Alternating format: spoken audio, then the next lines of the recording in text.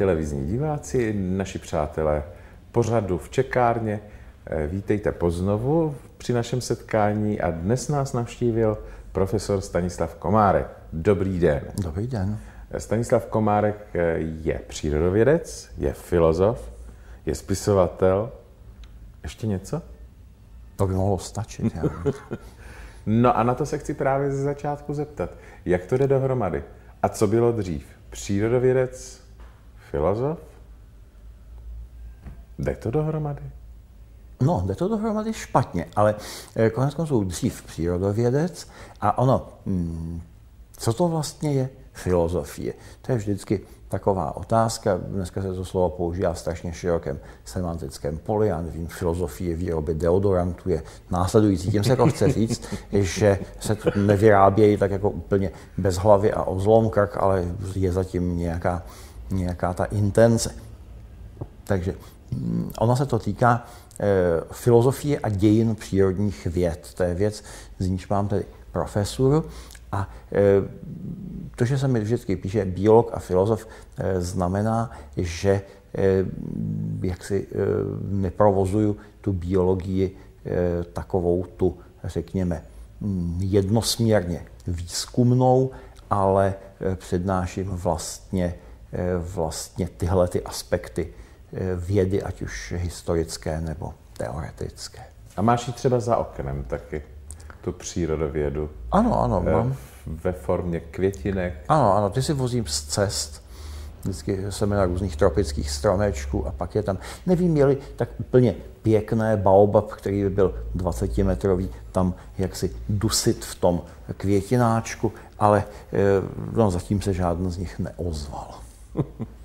Eh, zůstaňme ještě chvíli u té filozofie jako takové. Mm. Ty jsi potom žil v emigraci. Ano, ano. A byl jsi na vysoké škole. Ano. Tam jsi učil. No, učil. Já jsem byl. Já jsem byl tedy eh, asistent, který ve Vídni obvykle nepřednáší. To pouze pokud herr profesor někam odjede nebo, nebo onemocní, ale eh, právě tam, tam jsem úzce spolupracoval taky s profesorem Rídlem, to byl žák Konrada Lorence, on už je mrtev, ale tam byla katedra pro teoretickou biologii a tam se právě tyhle ty disciplíny pěstovaly. To je něco, co v Praze nebylo a po, po revoluci jsme si s mým učitelem Zdeňkem Neubauerem tady otevřeli na to samostatnou katedru. A to, to už šlo? To už šlo. Po revoluci šlo lecos. Teď už by to zase šlo špatně, ale v těch, abych tak řekl, nasycených a ustátých společnostech jde špatně všechno. No vidíš to, u té společnosti, která je nasycená a ustátá, abychom se měli zastavit, myslíš si, že je to i ta naše? V jistém smyslu ano. Mm, řekněme v Rakousku, Německu či Francii, kde už ten poválečný vývoj trvá 70 let, tak eh, dospěl dál v dobrém i ve zlém. To je ale smutné zjištění. V dobrém znamená co? No, eh, ono to mm, po té válce bylo v zásadě mm, ve smyslu jednak obecně emancipačním a jednak ve smyslu, řekněme, zajištění jednoho každého občana od kolébky do rakve, ale ono to pak má různé eh, stinné stránky, například, eh, kdybych měl jmenovat něco Mm, každodenního, takže na každém zajímavějším pracovním místě něco sedí, nebo tady někdo sedí a bude tam, bude tam sedět ještě dlouho, pak to znamená, že e, zaměstnávat živé lidi je drahé, tudíž e, sebe větší mm, investice do jakýchkoliv strojních zařízení se hravě vyplatí. A pokud se e, víc vyplatí automatický kamerový systém za miliony, než zaměstnat jednoho staříka jako nočního vrátného, stávají se lidé zvolna zbytečnými. V rámci tzv. demokratizace školství se e, univerzitní diplomy rozdávají o zlomkrk a většina těch lidí pak už nemá e, adekvátní uplatnění. Čili je to asi jako kdyby nějaký přijící panovník rozdával hraběcí tituly na veliko, který sedlák by ho nechtěl mít ve své chalupě. Ale potom nastává takové jako zvláštní rozčarování. Já jsem tady doktor, ku příkladu, hm, já nevím, mezikulturní, mezikulturních studií a spolupráce a musím balit knihy v nakladatelství, protože nic jiného nikdy dělat moci nebudu. Tou společností se šíří všestraná frustrace a vlastně celá společnost se začíná jakoby skrytě vařit. Není to právě teď? Je to právě teď, ale může to být ještě víc v budoucnosti. Také se západní společnosti e, v zásadě přestávají rozmnožovat. A to je, prosím, konec. Společnost, která není schopna se reprodukovat, tak eh, se musí množit eh, importem imigrantů a na ty se pak zlobí, že nezdílejí její hodnoty. Ona by to vlastně chtěla ty děti dovážet jakoby hotové, já nevím, outsourcujeme výrobu, eh, tadyhle ten, tadyhle ten poměrně levný mobil smontovali v Indonésii a stojili 800 korun sakum prásk, tak to musela být nějaká almužna, kterou tam za to dostali. Mm, děti nebo naše následovníky eh, montují, to je jedno, řekněme, v Čadu, v Nigeru, zcela zdarma a ty k nám potom dobrovolně, dobrovolně přicházejí. Eh, je to zcela ojedinělý způsob, ano. V dějinách se takto množily některé instituce, třeba katolická církev nebo, eh, nebo buddhistický klérus, trochu i velká města oproti venkovu, ale že by se tak, že by se tak reprodukovaly celé národy, to je dost neobvyklé. My se vlastně na ty migranty, já jsem kdysi taky býval utečenec, takže to dobře znám, eh, vlastně díváme tou optikou, my jim tady a oni se nechtějí po evropšti. Takhle to vlastně chápeme jako takový výměný, výměný obchod, hm, vzhledem k tomu, že v naší společnosti máme asi 1,4 dítěte na pár a je třeba zhruba 2,1 k tomu, aby se společnost vůbec obnovila.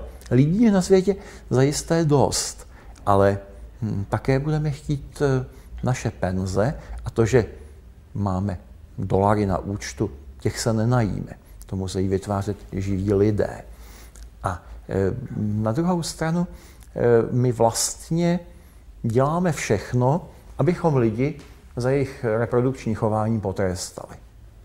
Eh, takže ten tvůj pohled na současnou dobu, současnou společnost je poněkud tristní, řekl bych hodně negativistický. A hodně negativistický, tak ono přijde na to, jak v čem. Když by se, když by se vzali některé jednotlivé facety, eh, tak eh, nevím, psy se nikdy neměli tak dobře, jako se mají v přítomné době. Ještě v roce 1900, ba co tím v roce 1950, přesně platila, eh, platili obraty typu zmlátit jako psa psí život, jako pes u boudy, utahaný jako štěně, utopit jako štěně.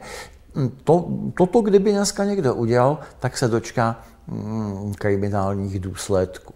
Druhá polovina pravdy je ta, že eh, my vlastně eh, do značné míry eh, ty citové investice, které bychom měli mít vůči jiným lidem, tak máme vůči zvířatům.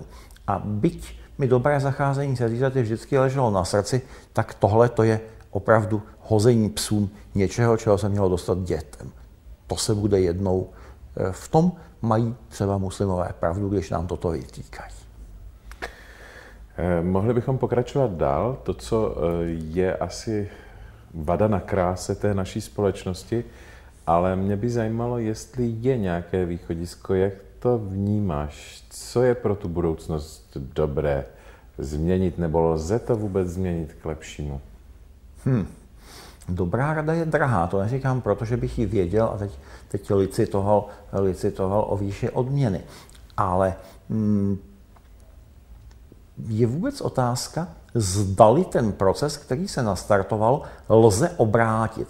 Za pozdního Říma také různí moralisté a kazatelé a zatrpklí staromilci říkali, jak ty římské ctnosti tradiční odumírají, co to tam bylo, no dejme tomu, dejme tomu mm, to, že Eh, správný občan je povoláním rolník, je střídmý, tak jako žvíká tu chlebovou placku s trochou oliv, má hodně dětí, eh, ty jsou tělesně zdatné, pak jdou za vojáky a rozšiřují římské impérium. Skončilo to tím, že ty patricijské rodiny také měly mnoho psíků a papoušků, málo dětí, adoptovali. Eh, to bylo dokonce ze stejné země, ze Sýrie, eh, třeba syrské, syrské otroky jako propuštěnce, eh, dávali jim svá jména. Mm, takže, takže to se Leckomu nelíbilo. Germáni přicházeli k limitu, dokonce přicházeli za něj a stávali se spojenci Říma. Armáda už se skládala prakticky, prakticky jenom jenom z Germánu. Ono, jako to pád římské říše nebyl něco nápadného, jak si to dneska představujeme s všeobecným pláčem a skřípění, skřípěním zubů. Ten konec západu římské říše byl ten, že se hm, poslední císař Romulus Augustulus dobrovolně odebral do fešáckého exilu do jedné vily za, římským, za římskými hradbami, ne že by byl naražen na kůl nebo uvězněn. Tam eh, ve všem pohodlí dožil a části obyvatelstva se i ulevilo eh, od spořádaného úředního tlaku. No a akorát doba se změnila, eh, jiné náboženství, to je křesťanství, se prudce rozšířil. Ono bylo velmi pronásledováno a eh, mezi posledním pronásledováním a prohlášením za státní náboženství bylo jen několik desítek let. Já to teď z paměti z paměti nespočtu. A šlo to převelice rychle. Najednou se, najednou se eh, Jupiter, Saturn, Venuše a další eh, římští bohové nedočkali najednou žádného býka, kance či něčeho podobného a ti, kteří byli 800 let pro všechny dobří, se najednou stali takovými démonickými bubáky a objevuje se tam, objevuje se tam zcela jiné Eh, jiné božstvo. Eh, to, na co se všeobecně plivalo, jakási vzdálená orientální pověra, se najednou stává státní ideologií. Eh, šlo to, šlo to na jedné straně relativně pomalu, na druhé rychleji, než si, než si myslíme. Já myslím, že každý by si měl římské dějiny přečíst. To znamená, když to takhle povídáš a podáváš, že by tam mohla být jistá podobnost s tou naší dobou? Mohla, ale my máme, my si neustále tady vyprávíme o islámu od zhora dolů, ale e, máme ještě jednu podstatnou mocnost ve světě, a to je Čína, mm-hmm. která už začíná do Evropy hospodářsky expandovat. Velmi brzy se budou e, jistě profilovat pro čínské a protičínské politické strany a e, to by to nemusím Eh, nemusím eh, je ne eh, říkat, protože ty si Malajzii jistě viděl, ale to je jedna ze zemí, tak by to mohlo jednou tak za 100-150 let v Evropě vypadat. Muslimská vláda, čínská ekonomika a zbytky původních kmenů prodávající rukodělné suvenýry. Hmm. On... Och, vy jste ironický, pane profesore. Mně toto došlo už v momentě, kdy jsem v roce 2000 přijel do Číny. Tenkrát to znělo jako žert holí. Teď už to, teď už to hmm, tak úplně k smíchu není, ale... No, zatím se směje. zatím, zatím, se, zatím se smějeme. Já se toho asi nedožiju, no. No, doufejme. Eh, vypadáš ale, vypadáš ale zdravě a odolně. A kdo ví. Takže eh, ona, každý historický proces vždycky jde déle, než si představujeme. Já jsem si taky před těma 20 lety říkal, ale nějaký počítač, já už to nějak do té penze bez nich, eh, bez nich protluču. No, teď, a, a teď už se točím jenom kolem svého PCčka a e, je to trochu podobně, jako se všichni pohani nakonec nechali, nechali pokřtít. Také říkali, že to s tím, že to s tím Perunem, e, co já vím, e, živou Černobogem a Triglavem nějak do, té penze vydrží a najednou v náhlé vlně přišla teda, přišla teda vlna, vlna christianizace. Takže kdo ví, kdo ví, kdo ví, čekal snad někdo v roce 1988, že komunismus padne do jednoho roku bez jediného výstřelu? Naprosto ne. Eh, řekni něco pozitivního. Proč by změny měly být vždycky jenom chápány jako negativní? Ano, na mnoho věcí jsme byli zvyklí a e, budou nám chybět. Prvomájové průvody e, fronty na banány a mm, potíže s vydáním výjezdních doložek nám, e, nám nechyběly, teď nám třeba budou. Ale myslí si někdo, že proto přestane sluníčko svítit a krávy dojit? Ale kde pak? Ty krávy dojejí, i když padne politbyro, to už jsme jednou zažili. naši, naši dobytkáři to sledovali a nemělo to na to sebe menší, sebe menší vliv. Ono, mm, budoucnost je hezká tím, že je otevřená. Nikdo ji nezná, já ji taky neznám. To, co tady, eh, to, co tady nadhazuju, jsou, eh, jsou takové, takové jako konstrukty a vize, ale nikdo ze smrtelníků nesmí předstírat, že do budoucna vidí, tím, tím spíš eh, nesmí předstírat, že ji v nějakém futurologickém ústavu vypočítal. S těmi bych vyrazil dveře rovnou.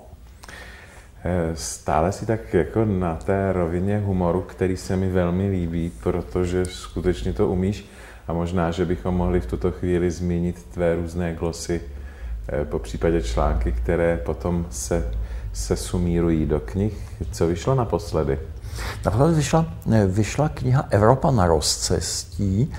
Mm, je to právě o e, Evropě, e, o tom, co ji trápí nebo co ji charakterizuje, taky a e, o jejich možných budoucích scénářích. Ono, svět je nutno brát s humorem.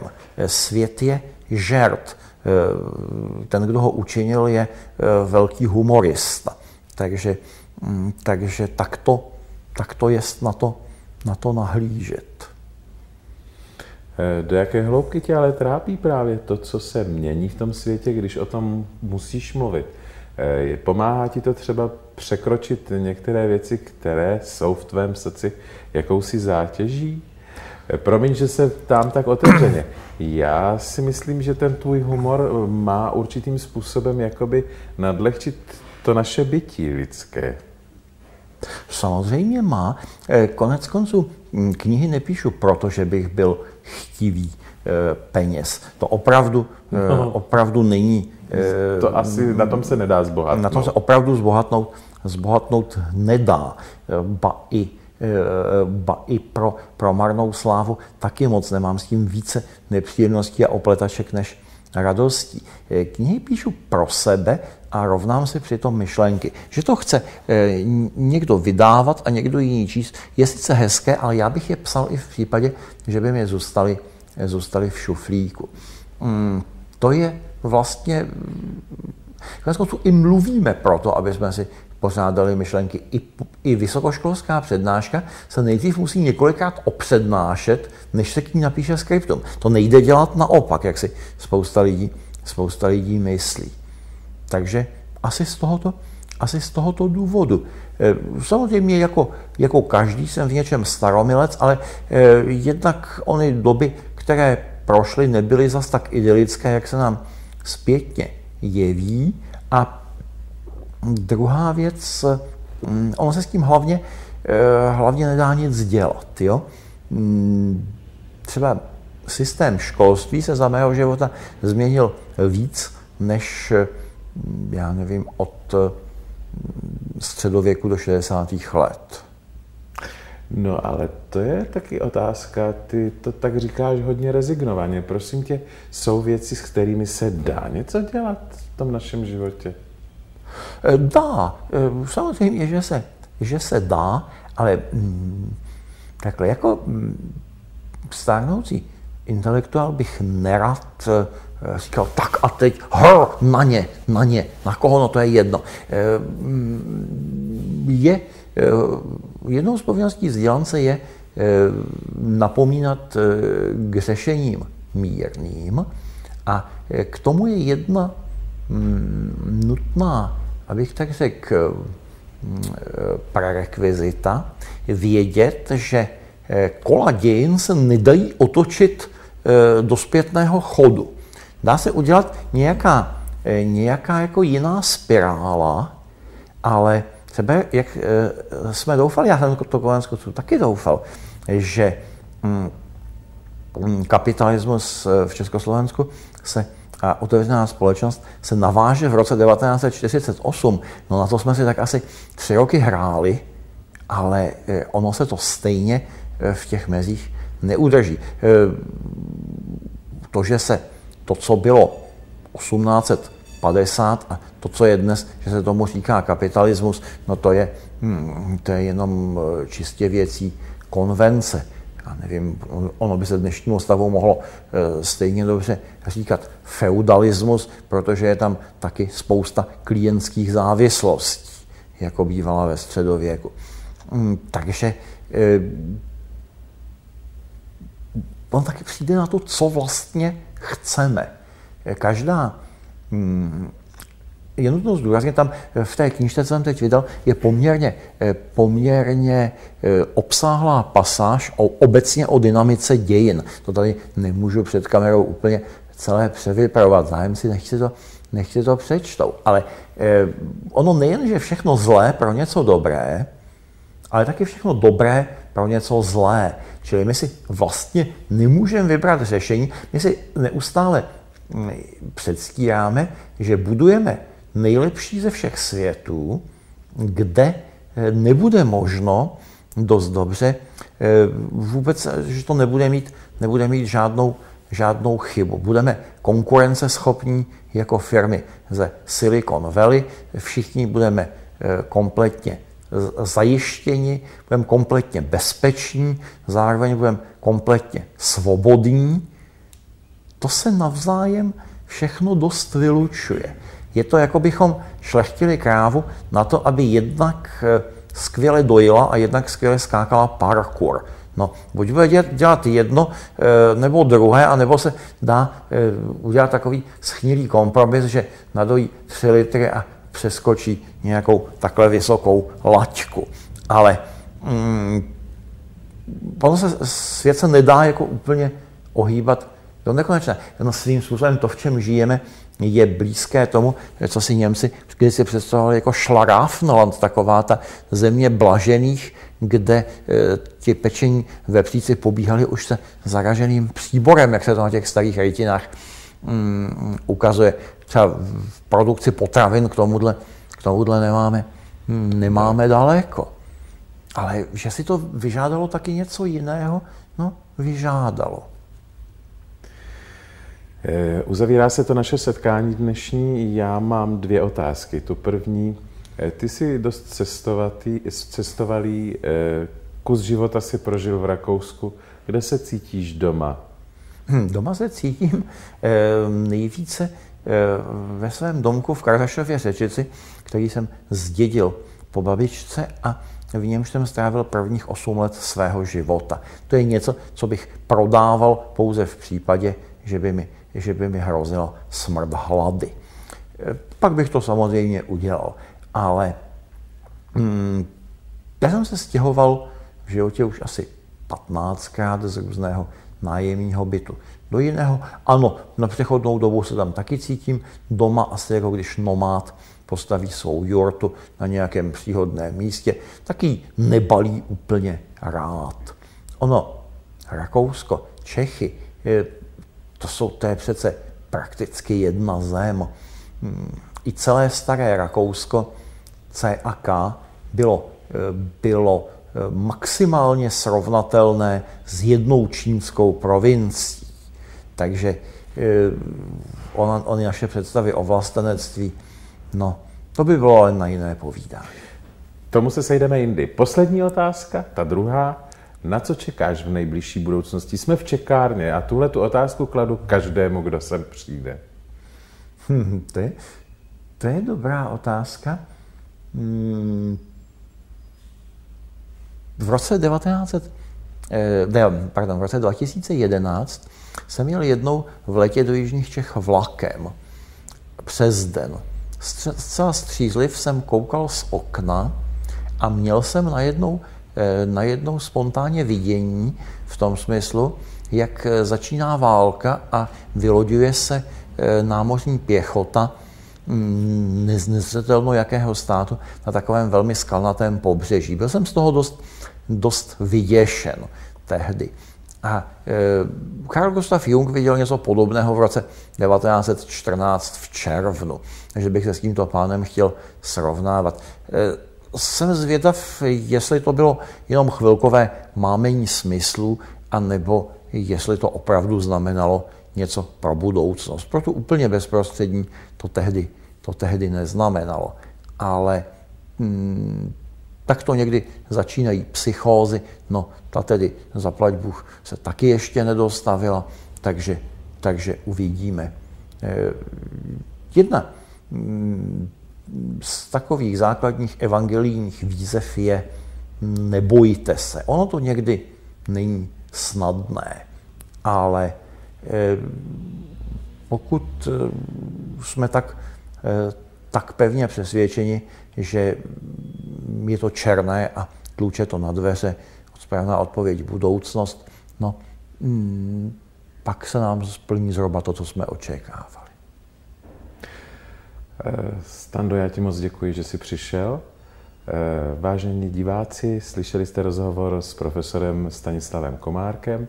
Děkuji vám za vaši pozornost a těším se na další setkání.